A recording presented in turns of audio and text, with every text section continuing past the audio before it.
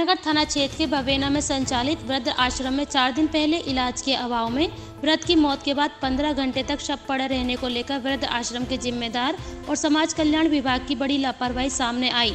तो समाज कल्याण विभाग की तरफ़ से वृद्ध आश्रम संचालित करने वाली एनजीओ को नोटिस जारी कर स्पष्टीकरण मांगा गया।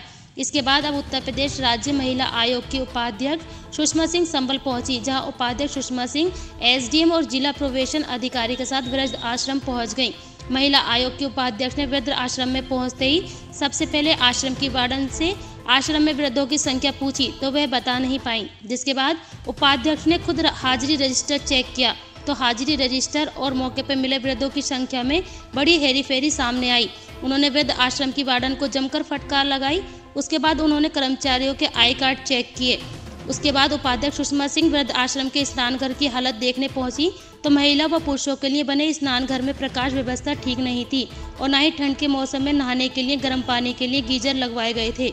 और इसी बीच महिला आयोग के उपाध्यक्ष ने वृद्ध आश्रम में बिजली के मीटर और बिजली के बिल के बारे में पूछा तो वृद्ध आश्रम में लगा हुआ मीटर चलती हुई हालत में नहीं मिला और न ही वृद्ध आश्रम की वार्डन बिजली का बिल दिखा पाई।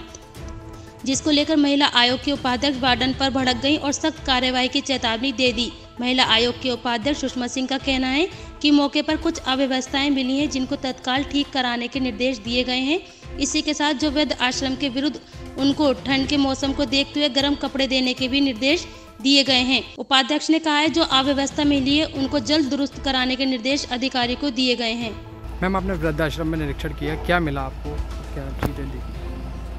देखिए हम लोगों का एक टारगेट ये है कि जितने भी सरकार की बेनिफिशरी में आते हैं जो वृद्धजन आते हैं वृद्ध महिलाएँ हैं वृद्ध पुरुष हैं विधवाएँ हैं या कोई भी हैं तो सब यहाँ से 60 साल की उम्र से बड़ी उम्र है तो ये वृद्धजन पेंशन उसमें पेंशन बेनिफिशरी में आते हैं।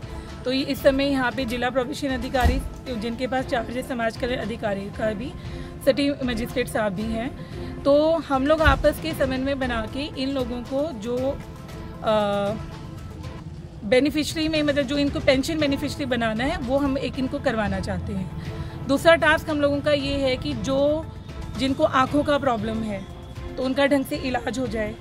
तीसरा ये, जो उन लोगों को जहाँ ट्राई साइकिल नहीं मिले हैं तो उनको ट्राई साइकिल मिल जाए।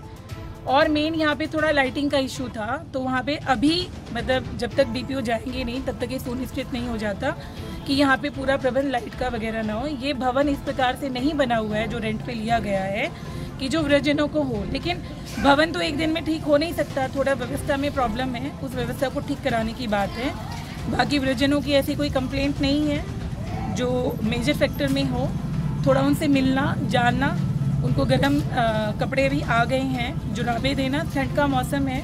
तो उस हिसाब से एक बार ये देखने की ज़रूरत थी कि क्या चीज़ें हैं, क्या अनियमितताएँ हैं, वो भविष्य में सर्दी का मौसम है, उसमें प्रॉब्लम ना आए और उनको जो भी मतलब अच्छे से अच्छा मिल सकता है वो उनको मिले